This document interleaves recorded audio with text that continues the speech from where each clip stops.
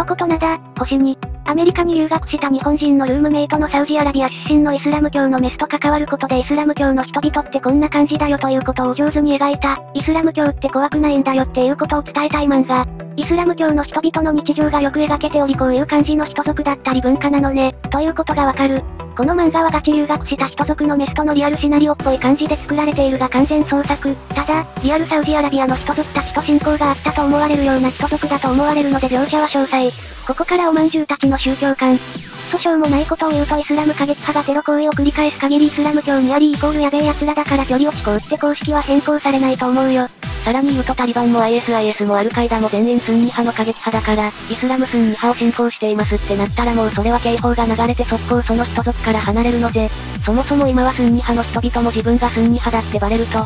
ふーんってなるからカミングアウトできないしみんなは何派ですか？っ